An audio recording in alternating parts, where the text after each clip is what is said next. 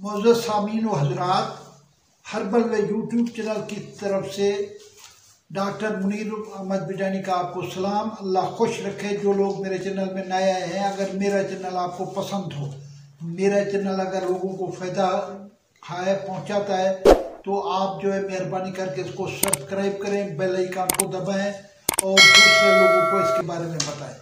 अभी मैं जो वीडियो आपसे शुरू कर रहा हूँ, ये हजूर पाक सल्लल्लाहु अलैहि वसल्लम के अरशादात हैं, जो हेल्थ के बारे में ज़्यादा तौर पर है।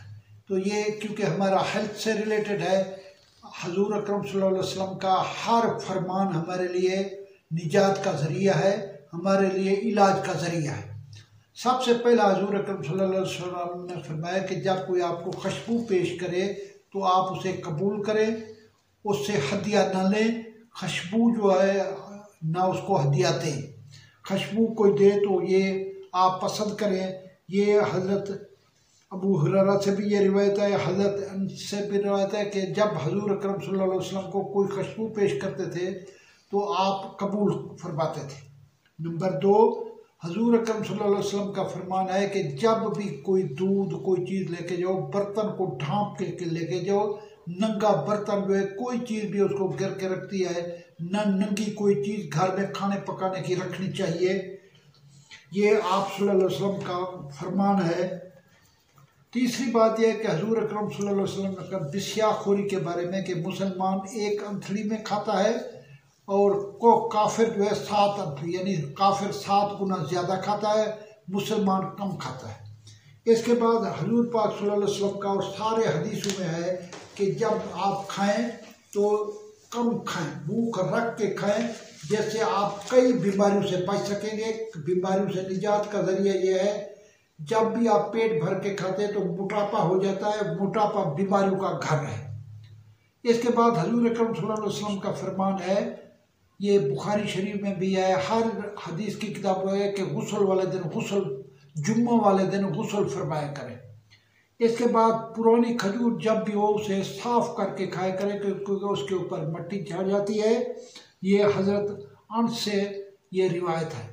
इसके बाद हज़रत अबू हिरारा से रिवायत है कि जब भी पनीर किसी को पेश करो, पनीर काट के दिया करो।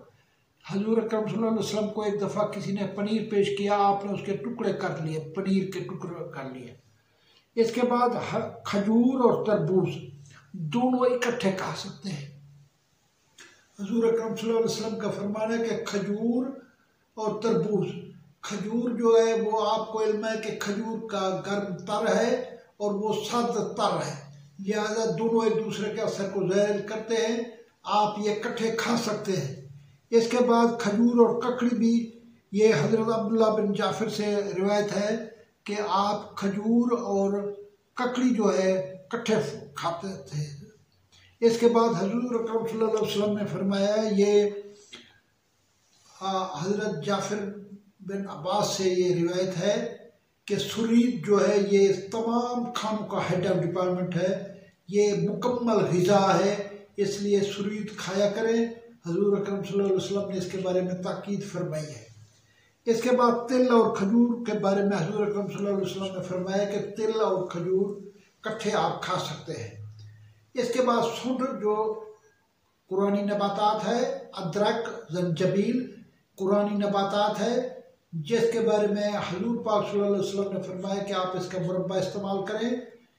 जंजबील के बारे में, कुरान पाक में भी आया है, जन्नत के जो लोग हैं, उनको जंजबील वाले खुशबू वाले बर्तों में बर्तनों में पेश किया जाएगा। इसके बाद मेहंदी के बारे में, जहाँ मेहंदी जो है, हिना या मेहंदी। हजूर अक्रम वसल्लम ने फरमाया कि हिना और मेहंदी से अपने ज़ख्मों का इलाज किया करें। जहाँ मेहंदी कलर के लिए इस्तेमाल होती है, जहाँ दुल्हन को सजाने के लिए इस्तेमाल होती है, जहाँ मेहंदी के हिना के रंग बनाए जाते हैं, वहाँ बवासीर के लिए मेहंदी के पत्ते जैतून के तेल में गर करके बवासीर वाली जगह पे लगाए, मस्से भी झड़ जाएँगे और बवासीर ठीक हो जाएगी। जहाँ जख्म हो, वहाँ भी मेहंदी के पत्ते लगाने से ठीक हो जाता है।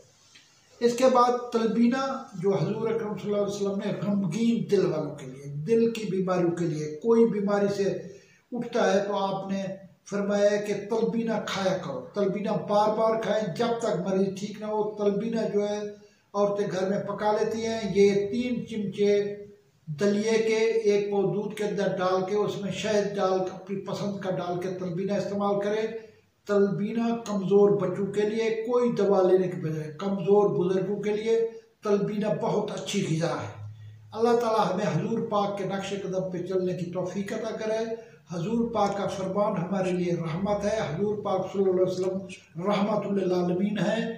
उनका जो आने वाले जहनों के लिए भी उनकी हर बात जो है वो हमें कबूल करनी चाहिए, हमें सुननी चाहिए।